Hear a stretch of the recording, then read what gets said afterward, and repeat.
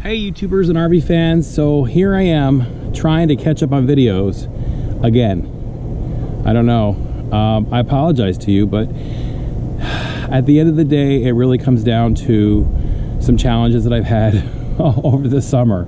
So I want to kind of give you a little bit of an update, and then at the end um, of this video, there's a little surprise for you, um, a little something that I did. I did a thing. We won't even get into that right now. But, um, so let's start back for the summer.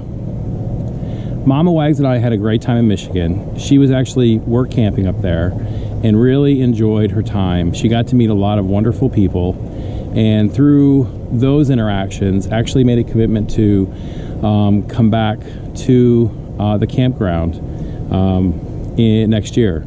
So for all of our friends up in uh, Niles, Michigan, hey, good to see you guys. And uh, it was a pleasure to work with you this summer. Now, I got to meet everybody because Mama Wags was a work camper, so, and she was involved in, you know, work camping things. So it was nice that I got to meet a lot of people up there. Uh, interestingly enough, I had not met many of the, I had, I knew of those folks the year before when Alex and I went up there, but I didn't know, uh, know them as well as I do this year. Anyway, um, after a great summer, we left uh, Niles and then we drove down to Lexington, Kentucky, and we hung out at a Walmart overnight in Lexington. And from there, then we actually traveled down to Nashville, Tennessee. And um, we actually left the campground with two of our friends, Jim and Min. Uh, they, were, they were driving a 38 foot Mirada and towing a little Fiat. And uh, you know, this was Jim's first time really driving for long periods. Although he had come up from Arizona to Niles, um, you know, that was his first big trip. So it was a little bit uh, exciting for him to be back in that RV and driving uh, back to Arizona. So they followed us for a little while, and we went to Nashville, and then I we hung out at the uh, Grand Ole uh, Grand Ole RV Resort in Nashville, Tennessee.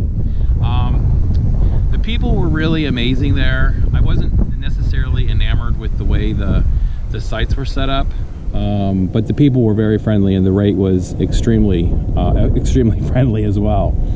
The one thing I really didn't I did enjoy even though I didn't was the railroad. Um, there was a, a train that would run it would seem about every 20 minutes um, through the park.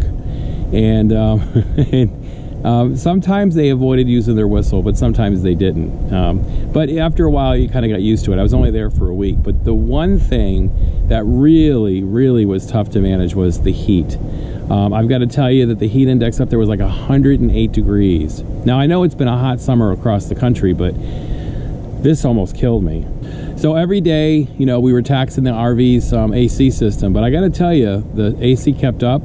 Um, the RV was nice and cool uh, despite the fact that the heat index outside was 105 degrees. So um, I got to spend time with my daughter. I got to see her new house, and we went out to dinner a couple times, which was wonderful. So the visit to Nashville was a great um, uh, layover to coming back to Louisiana. So we left on the following Saturday, got back to Louisiana, and I've been here ever since. So I'm currently staying at um, a beautiful park um, here in um, in uh, Lafayette and this is just a great park. I love the folks here, um, and uh, but just a nice park to stay at. So one of the things that I had to do after I um, um, purchased the Class C was figure out what I was going to do when I wasn't having anybody travel with me. Um, the problem is, is that, you know, I really can't tow the F-150 on the back. And this is old news. It's nothing that's new. Um, but for the last year and a half, my son's been traveling with me or Mama Wags has been traveling with me. So they've been, you know, driving the truck. The problem is, is that becomes incredibly expensive. You know, putting money in the gas tank of the RV and then putting money in the gas tank of an F-150. So when I got back to Louisiana, I made a decision that I was going to go ahead and buy a small travel trailer um, that um, you know would allow me some more independence and freedom uh, when people weren't traveling with me. So very happy to tell you that I did do that, and that's the thing I was going to tell you about. So at the end of the video, um, I give you a little quick uh, musical walkthrough uh, of the uh, of the new RV. It's a great setup for me.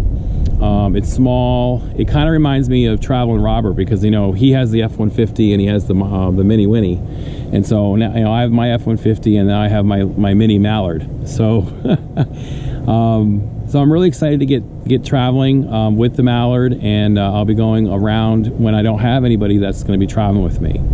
So, but I'm kind of stuff stuck here right now in Louisiana. I've got some doctor's appointments I need to get caught up on and some other um, personal things I've got to get done here.